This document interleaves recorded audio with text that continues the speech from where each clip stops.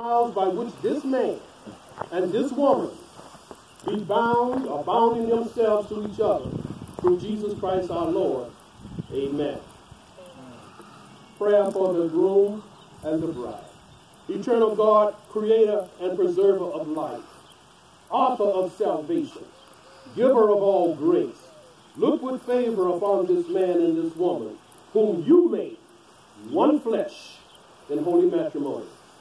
That their wills be so knitted together in your will, and their spirits be so knit together in your spirit, that they each may grow in love and peace with you and with one another all the days of their lives.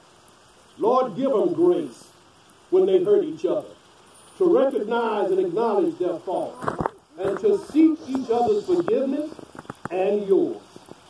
Make this life together, their life together, a sign of Christ's love to this sinful and broken world. Give them fulfillment and mutual affection, that they may reach out in love and in concern for one another. Lord, we grant that all married persons who have witnessed these vows may find their lives strengthened and their loyalty confirmed. Through Christ our Lord. Amen. Amen. Amen. Amen.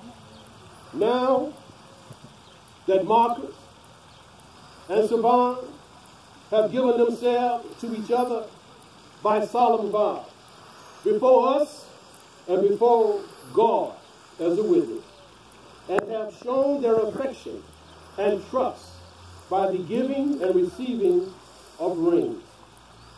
I therefore pronounce them husband and wife. Woo! Woo!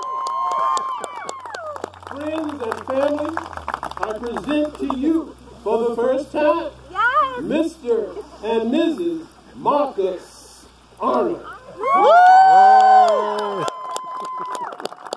Sevan. Out of girl.